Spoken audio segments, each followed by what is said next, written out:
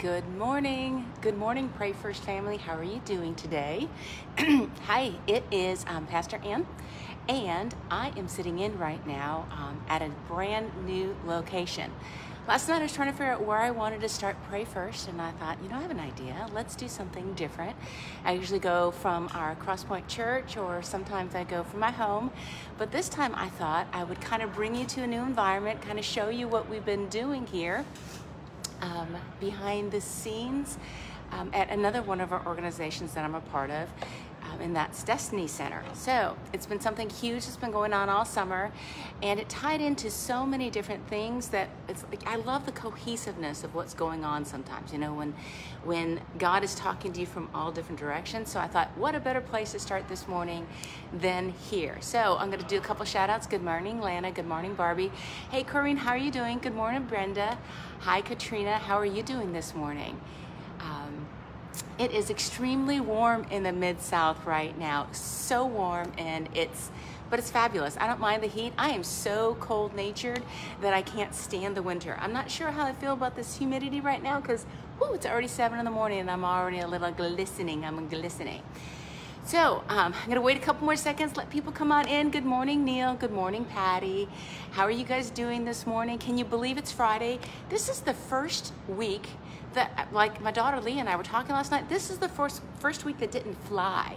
Usually I'm like, oh my gosh, I can't believe it's Friday. And last night I'm like, I can't believe it's only Thursday, which is fantastic because I felt like I got a lot of stuff done this week. And um, Friday's my Sabbath, so I'm gonna really enjoy today. But um, I wanted to go ahead and kind of share with you different things that are going on. So, as you may know, I think a lot of you know that um, Pastor Doug is not only the senior pastor over at Crosspoint Church, but he's also the CEO of an organization called Destiny Center. And what Destiny Center is, it's it basically think about it as a mobile community center. Um, Destiny Center's vision is to reach people with with goods, resources, everything, um, services that they can't get to. So it doesn't matter if you have items, if you have food, if you have medical, if you have all these items, if you can't actually get to it. So Destiny Center was developed as a mobile resource center. So that's why we have things like um, we have D2, which takes people to um, doctor's appointments, and we also do different initiatives for our community so that we can reach people if they can't come to us. That is the best summation I can do real quick. So I'm also one of the board members of Destiny Center and also on staff at Crosspoint. So I thought this morning I'm just going to take advantage and share with you lots of things that will also affect us as disciples, um, which of course with Pray First, what we are is we're giving God our first. So I got sidetracked. So hey everyone, do me a favor. If you're here, uh, make sure you're hashtagging live, hashtagging recorded. Tag your friends out if you like to, and also share this out. Make sure you're sending out the hearts and the thumbs up and everything along the side to let people know, our new time people know that we are so excited that they are here. All right. So, anyways, I decided to come for you this morning from Old Town Fitness. And Old Town Fitness is where we've been doing this magnificent project. And what we're doing is we are feeding 500 kids per week in the DeSoto County area and some Marshall County as well. And what we're doing is we're bringing them non-perishable sack lunches five days of the week. And a Destiny Center um, reached out to the school systems and we're targeting food insecure children who usually take advantage of the school lunch program or the back, back the backpack program um, for the weekend. We targeted them that realized that, hey, during the summertime, these kids don't have the resources. Their parents may be working and can't get them to the resources, so we decided to bring it to them. So we're doing 500 lunches a week for the entire summer. And so if you do the math real quick, that's 500 lunches, five days a week. We're packing 2,500 lunches per week, which is 5,000 every two weeks 10,000 a month. And we, we are packing currently week four. So before I dive into the word, which I will be reading from Philippians today because we are in still the hashtag Bible Project 21, I wanted to kind of show you what we've been doing, okay? So here we go. So again, Old Town Fitness in Olive Branch were so gracious to us.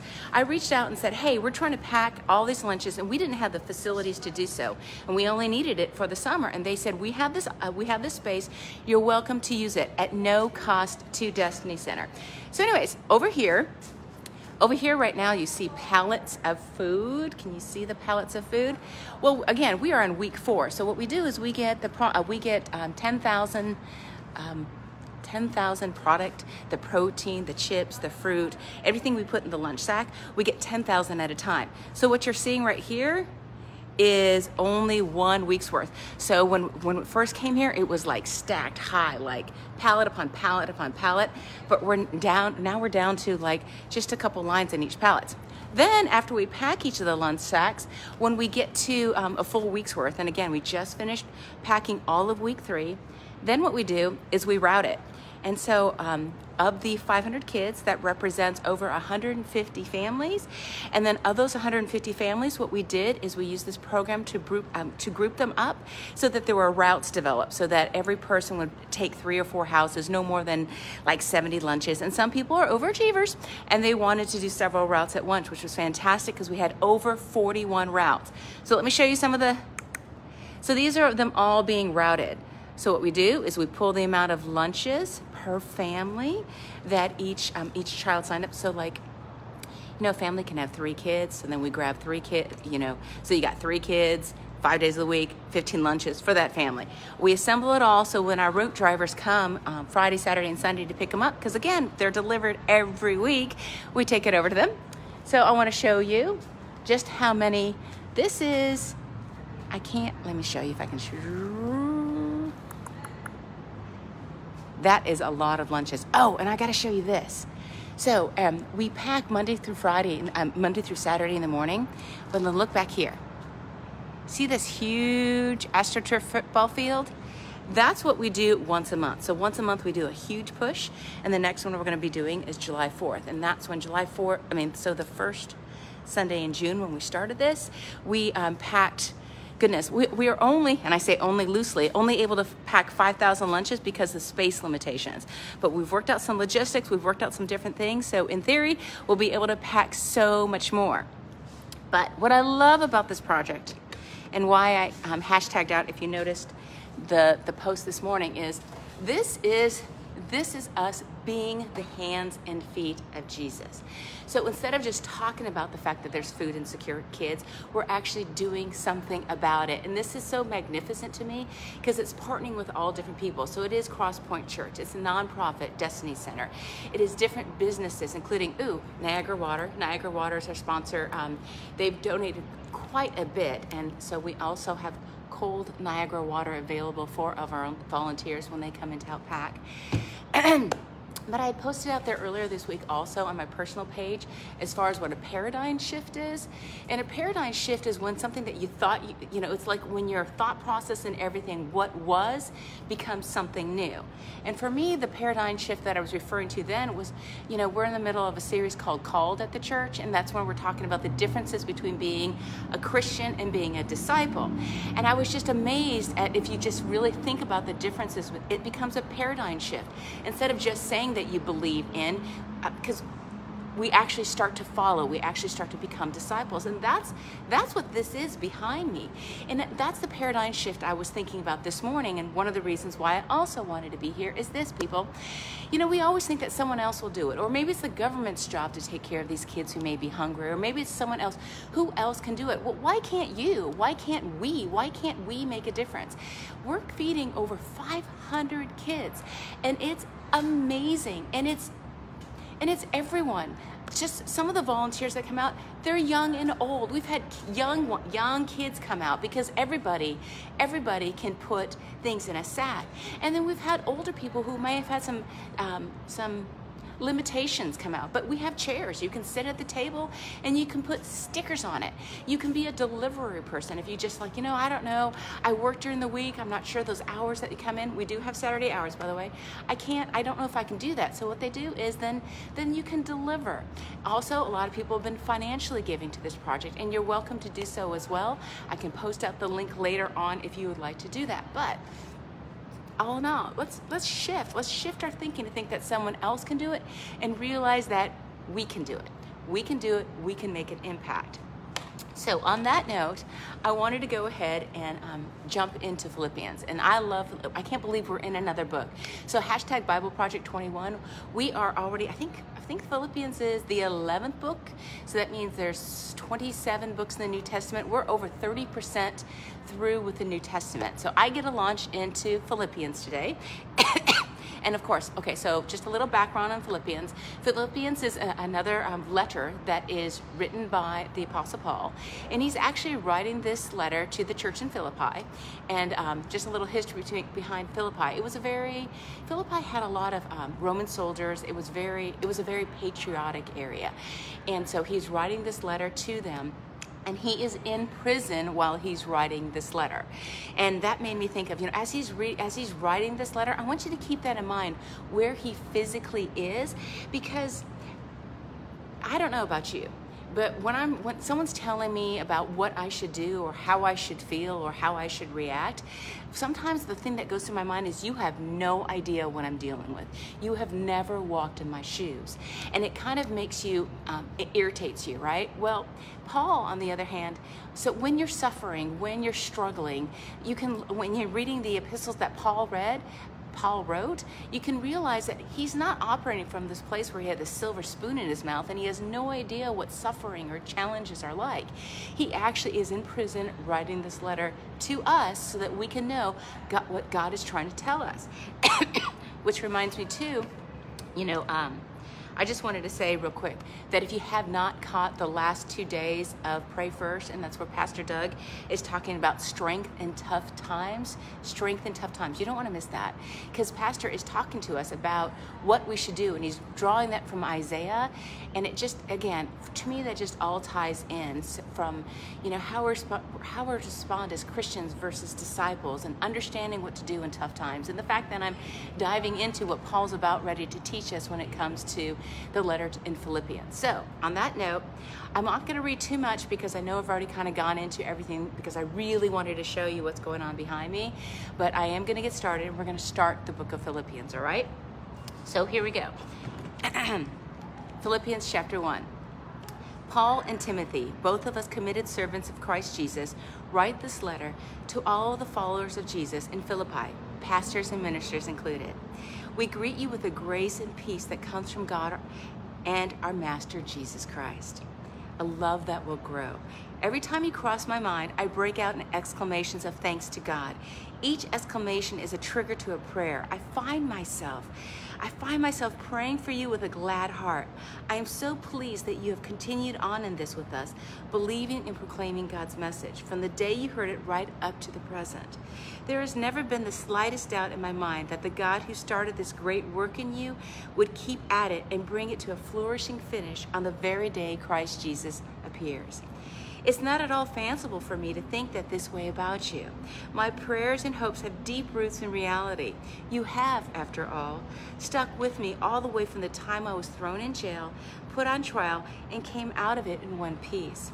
All along, you've experienced with me the most generous help from God. He knows how much I love and miss you these days. Sometimes I think I feel as strongly about you as Christ does. And this part, I, I love this part. And I pray this particular prayer for many of my friends, listen to the way that the message puts it. So, this is my prayer that your love will flourish and that you will not only love much, but love well. Learn to love appropriately. You need to use your head and test your feelings so that your love is sincere and intelligent, not sentimental gush. Live a lover's life, circumspect and exemplary, a life Jesus will be proud of, bountiful bountiful in fruits from the soul, making Jesus Christ attractive to all, getting everyone involved in the glory and praise to God. I want to report to you, friends, that my imprisonment here has had the opposite of its intended effect. Instead of being squelched, the message has actually prospered. All the soldiers here, and everyone else too, found out that I'm in jail because of the Messiah. That piqued their curiosity, and now they've learned all about him. Not only that, but most of the followers of Jesus here have become far more sure of themselves in their faith than ever, speaking out fearlessly about God, about the Messiah. It's true that some here preach Christ because with me out of the way, they think they'll step right into the spotlight, but the others do it with the best heart in the world. One group is motivated by pure love, knowing that I am here defending the message, wanting to help. The others, now that I'm out of the picture, are merely greedy, hoping to get something out of it for themselves. Their motives are bad. They see me as their competition, and so the worse it goes for me here, the better they think for them. So, how am I to respond? I've decided that I really don't care about their motives, whether mixed, bad, or indifferent. Every time one of them opens his mouth, Christ is proclaimed, so I just cheer them on. And I'm going to keep that celebration going because I know how it's going to turn out. Through your faithful prayers and the generous response of the Spirit of Jesus Christ, everything He wants to do and through me will be done. I can hardly wait to continue on my course. I don't expect to be embarrassed in the least.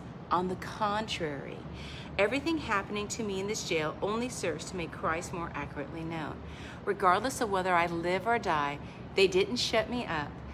I'm Christ's messenger. Dead, I'm his prize. Life versus even more life, I can't lose. As long as I'm alive in this body, there's good work for me to do. If I had to choose right now, I hardly know which I choose. It's a hard choice. The desire to break camp here and be with Christ is powerful.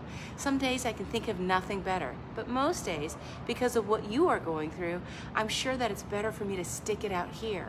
So I plan to be around a while, companion to two as your growth and joy in this life of trusting God continues you can start looking forward to a great reunion when I come visit you again.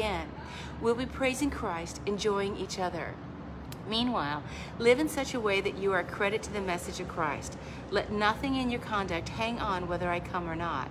Your conduct must be the same whether I show up to the to see things for myself or hear it from a distance. Stand united, singular in vision, contending for people's trust in the message. The good news, not flinching or dodging the slightest because, the because of the opposition. Your courage and your unity will show them what they're up against. Defeat for them, victory for you. And both because of God. There's far more. There's far more to this life than trusting in Christ. There's suffering for Him. And the suffering is much a gift as the trusting. You're involved in the same kind of struggle you saw me go through, on which you're now getting an updated report in this letter. All right. Um, you know what, guys? It is almost 7:20, and we like to try and keep this between 15 and 20 minutes long. So I'm actually going to go ahead and just end there at the end of chapter one of Philippians, and let um, Monday's pray first launch into um, Philippians chapter two. So. On that note, I want to pray us out. Um, but before I pray us out, well, now I'm going to pray us out, Phil. So first. Sorry, Heavenly Father, Lord, thank you so much. Thank you for this glorious Friday, Lord. Thank you for opportunities to come from you from many different areas to show what hands and feet can do, Lord. Thank you that we know that in all suffering, Lord, that you are there with us. Thank you, Lord, that we know that you are strength in our tough times, Lord. Thank you for this word, Lord, where Paul shows us that it doesn't matter if we're suffering, if we're in prison or we're not, it's all for you, Lord. Death, life, it's all for you. So, Lord, please bless everyone that's watching here right now. No spirit but your Holy Spirit have you with my friends. In your name we pray. Amen. Okay, before I completely say goodbye and say goodbye and turn you off. I just want to encourage you guys, it is Father's Day weekend. Father's Day weekend. And for me at church, that means that um, we're going to have a lot of fun. We're going to celebrate our dads. We, of course, we, Crosspoint Church, we celebrate well, special food, special gifts, and a really cool love sign that's painted so that if you want to bring your dads and have a great photo op in front of that, that'd be great. A little biased, my daughter painted the sign, so I think it's amazing. But, so that's one thing, and I just want to encourage you. But then I also want to encourage you on this, and I want to leave you with this. Father's Day, Mother's Day, any kind of special events like that, sometimes it can bring up stuff for us. And whether or not you had an incredible father that may not be with it with you anymore, so that might that might hurt because you miss him. Or whether you had an absolutely horrible father and you're like, oh, Father's Day is not something that I that I celebrate because the memories you had. Or perhaps you're like me that grew up without a father, not by any fault of his own. He was he was killed when I was much younger. But there are absentee fathers, there are great fathers that are no longer with us and they're stinky fathers, and all of that, and all of that, remember who the ultimate father is and that is our lord and that is that is god the father. So we look to him. So if you're feeling that emptiness because you miss your dad or you wish you would have had a different dad remember our perfect father in heaven. And he's there to impart the wisdom to impart everything on us just like just like solomon wanted to do to his sons in in proverbs. God does that to us through his word through his word. So celebrate father's day even if it's just celebrating our lord all right you guys have a fantastic day, and I will see many of you on Sunday, and I'll see others of you next week. Share this out. Bye, friends.